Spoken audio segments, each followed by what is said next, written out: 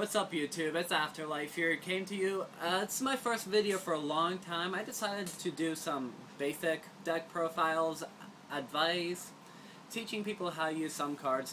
Today I'm going to be talking about using power cards properly.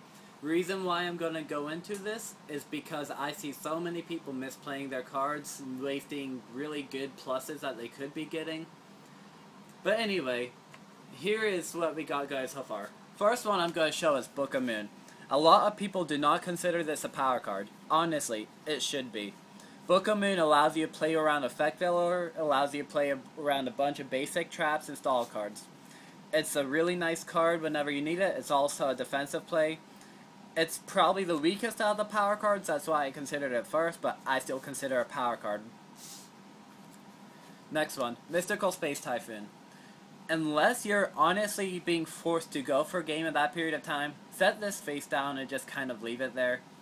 Because, like, there's so many easy plus ones you can get off it. So many times someone would try to, like, graph on my face down or just random MST. Yeah, it's Gold Bear, by the way. It's sexy, I know.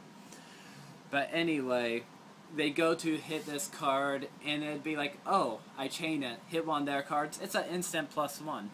It helps clear the field it's just a really good card. Next card here, Monster Reborn. This is probably the best bluff card in the game.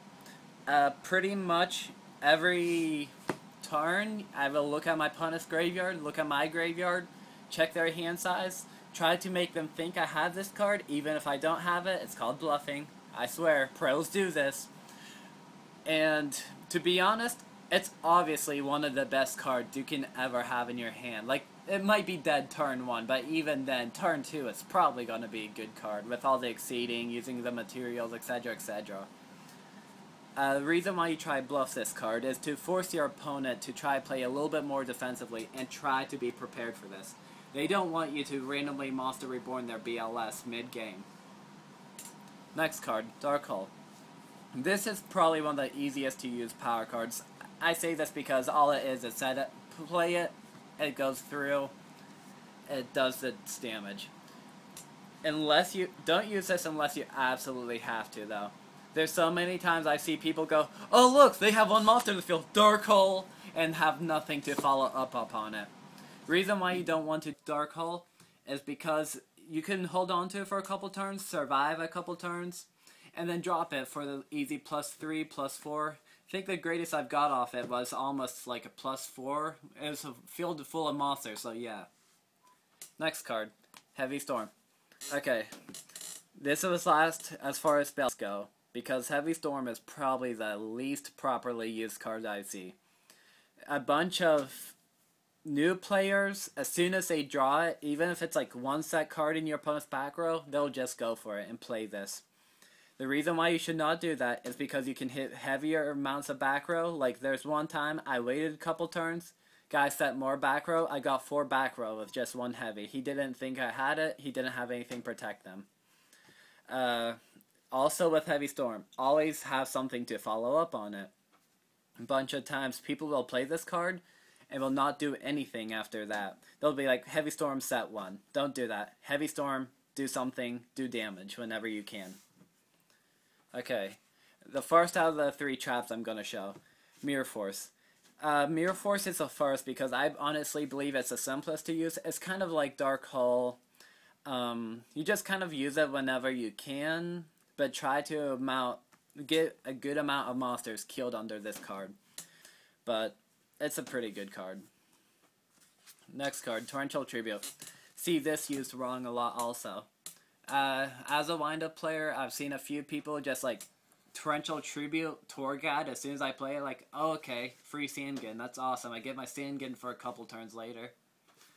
Uh, torrential tribute, you gotta maximize your pluses off this thing.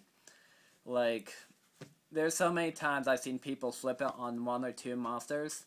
I've left this card face down pretty much entire games because people start thinking it's a dead MST or something and then you flip it whenever you think you can maximize off of it. Like I've hit five monsters off of it, no problem before.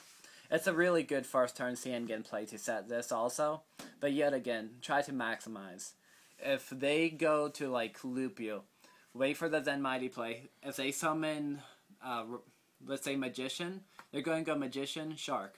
They summon Shark, they're going to trigger Magician's effect.